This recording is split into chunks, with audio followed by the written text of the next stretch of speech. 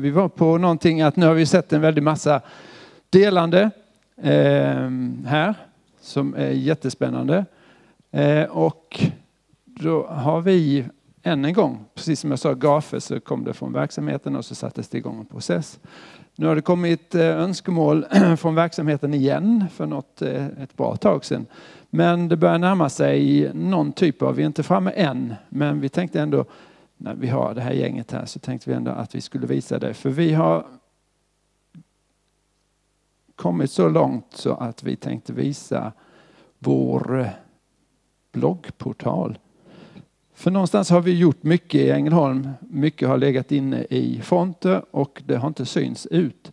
Och eh, vi har haft många som har bloggat med webbstjärna men så går den ut och så ska man eh, fixa ett annat abonnemang eh, och en annan adress och så vidare. Så någonstans har det varit ett önskemål. Kan vi inte ha någon typ av blogga? Och vi har frågat om hjälp men till slut så blev det så att vi fick sätta igång och rodda i det själv.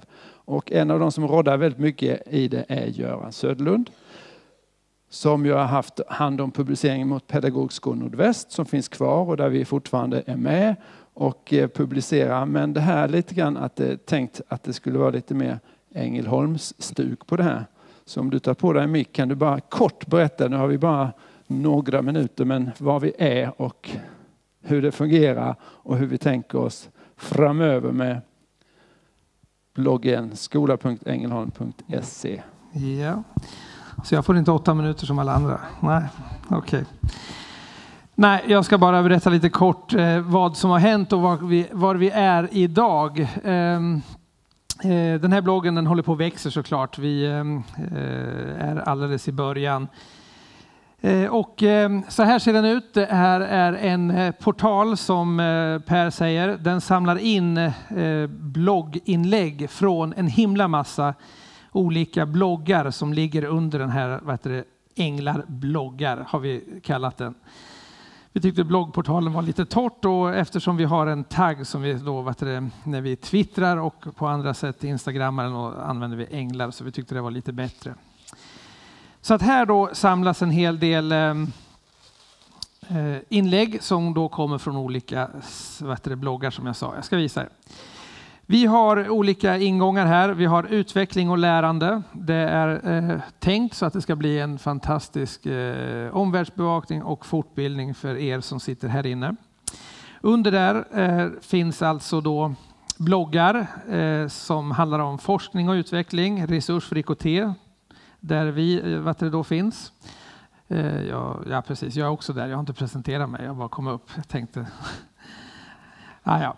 Matematikutveckling, språkutveckling, eh, NT, giftfri förskola och förstelärare. Och det här finns ju möjligheter att det växer ut. Absolut, ingenting är färdigt här Nej. utan nu är det utkast så att säga. Ja, och ni ser här, det är ungefär vet du, nästan samma blogg eller blogginlägg här som det var tidigare.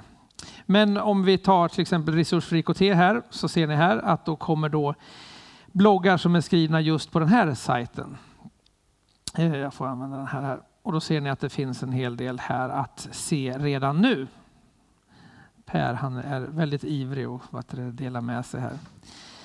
Eh, om jag går tillbaka till eh, Änglar-bloggar så har vi då rektorsområden och då ska alla rektorsråden vara representerade eh, och de finns här. Och nu tänker jag gå specifikt in på Nyhems RO eh, för att jag tänker visa eh, hur man som lärare också kan använda en blogg.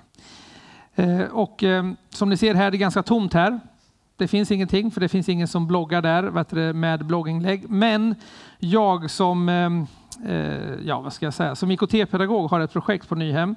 Så att jag jobbar med digital storytelling och då har jag byggt upp en sida där jag kan dela med mina elever. Och det här kan jag göra och har gjort i Fronter i många år. Och jag tycker Fronter är jättebra. Men men samtidigt så vill jag att fler ska kunna ta del av det här och när jag berättar om digital storytelling så vill jag att, de, att jag, eller jag vill att kunna säga till dem att gå in där och titta för det är så här vi jobbar och det är det här vi gör. Och då är det väldigt svårt med fronter eftersom inte alla kommuner har fronter och framförallt ingen inloggning till vår fronter. Så det här är ett sätt för mig att kunna dela med mig av det som vi gör för jag tycker att det här arbetet är väldigt bra.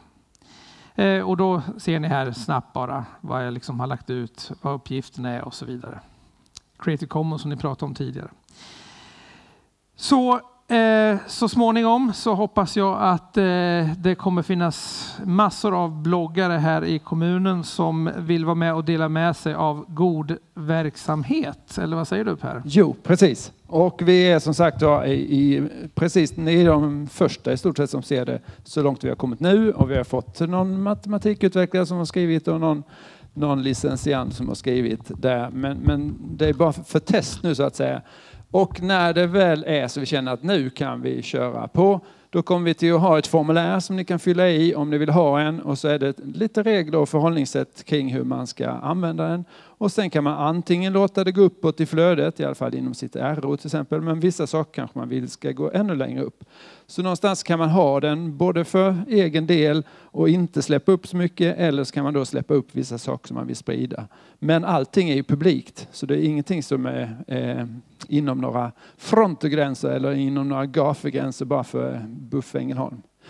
Så ser det ut. Verkar det bra? Ja? Kör vi på det?